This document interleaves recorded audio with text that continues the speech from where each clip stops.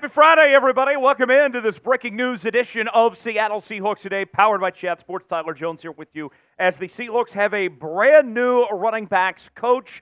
Kennedy Polamalu of the Las Vegas Raiders has been hired to join Mike Macdonald's coaching staff and work under new offensive coordinator Ryan Grubb in Seattle. The news coming first thing this morning from NFL Network's Tom Pelissero tweeting out the following. The Seahawks are expected to hire veteran assistant Kennedy Polamalu as their running backs coach per source. And Kennedy Polamalu, in case you don't know, he has quite the track record uh, of where he's come from.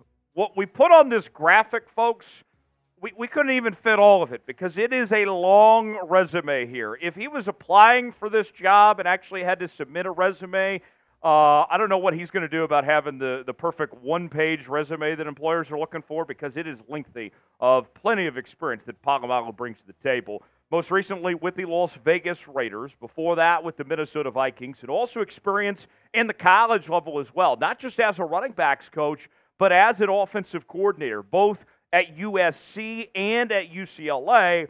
And most notably at USC, when he was there, he was in a very good era of USC football, actually working with Pete Carroll many years ago as a running backs coach back then in the glory days of USC. We'll have more on that coming up later. Now, when I look at Kennedy Polamalu, here is a guy who has experience at both the college and NFL levels. And why I think that's important is the Seahawks are going to be running a college offense. What Ryan Grubb is bringing in, that air raid scheme, from the University of Washington and with a brief stint at Alabama for a couple of weeks.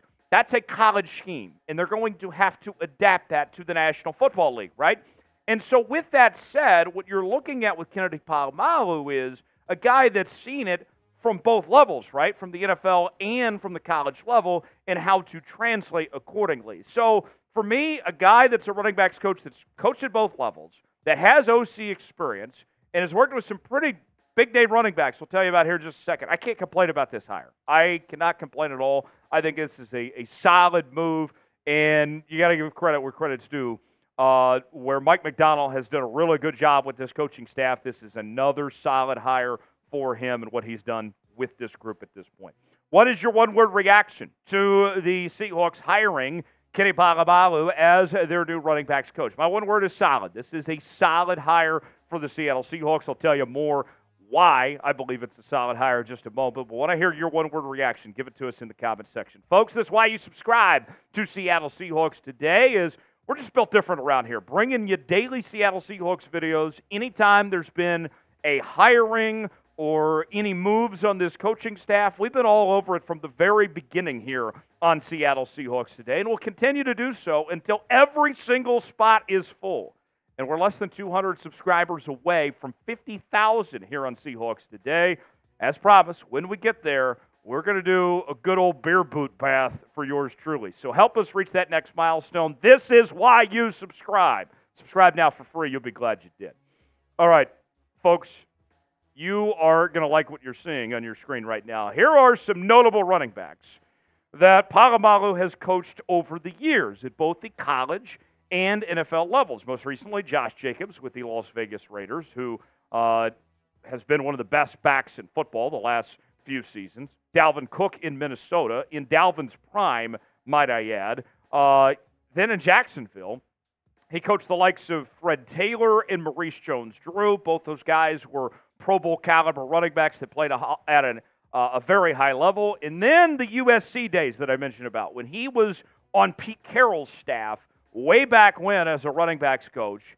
He worked with Heisman Trophy winner Reggie Bush, as well as LenDale White. Both those guys went on to be selected in the first couple rounds of the draft that they came out and won national championships at USC and put together one of the best backfields we've ever seen in college football history. So he has been successful at developing running backs at both levels to a high degree. Now, when I look at the Seahawks and where they go from here, the job that's ahead for Kennedy Polamalu is going to be to develop Kenneth Walker and Zach Charbonnet to the level of the previous running backs he's worked with.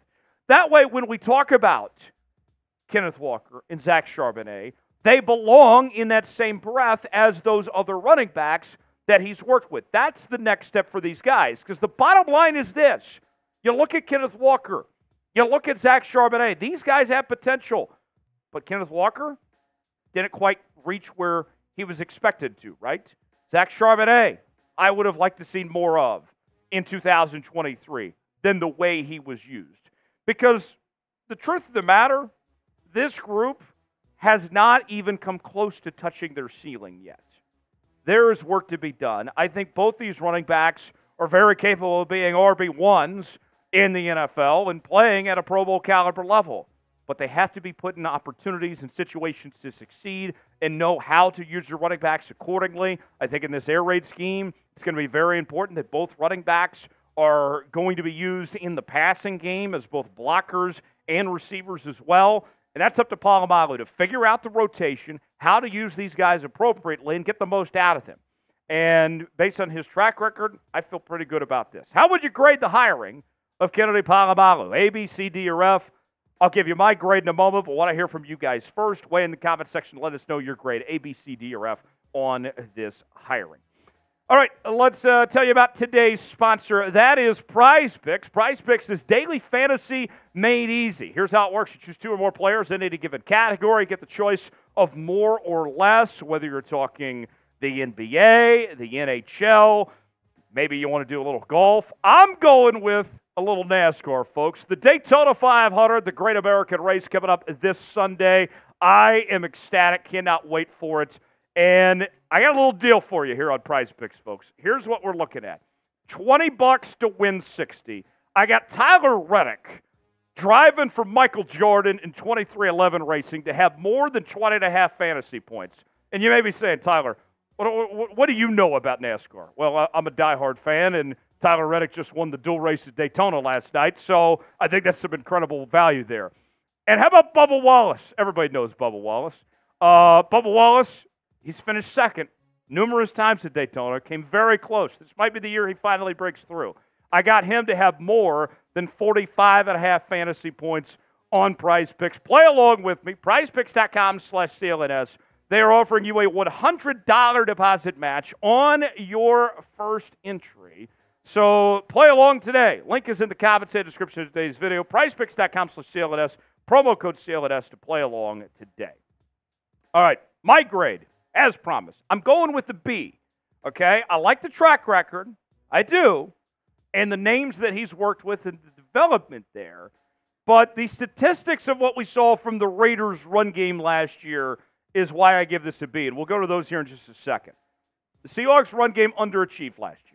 There is work to do. What we heard all year long from Shane Waldron and Pete Carroll was we want to be a run first football team. We want to establish the run to open up the passing game and they never did that. They talked out of one side of their ass and didn't give results, right? You look at the numbers. Here's what the Seahawks have to work with going into 2024. Bottom half of the league in every major rushing category, from run play percentage to yards per rush, rushing yards per game, rushing yards per game, rushing touchdowns per game. There is work to be done with this group. But you look at the Raiders statistics, where Polamalu came from, and they weren't too much to write home about either last season. 20th in rushing yard, uh, rushing play percentage, 28th in yards per rush, 27th in rushes per game, 30th in rushing yards per game, 21st in rushing touchdowns per game. So that's why I give this a B because the recent numbers that we see were not great. Although he's got a good history over the years, Polamalu does of developing these running backs the recent numbers show me that it didn't go so great last year. It was one year, though. Raiders as a whole weren't a good football team, but nonetheless, that's the situation the Seahawks are in. Appreciate you joining us here on Seahawks today. We're going to continue to cover the coaching staff here in Seattle as more names get added over the next couple days. We'll tell you about all of it. Subscribe now for free. Help us reach 50K subs, and we'll see you next time right here on Seahawks Today.